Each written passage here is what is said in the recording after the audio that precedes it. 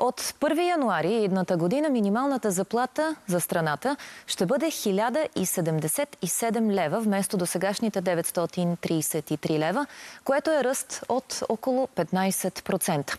Това предвижда проект на правителствено постановление, публикуван за обществено обсъждане.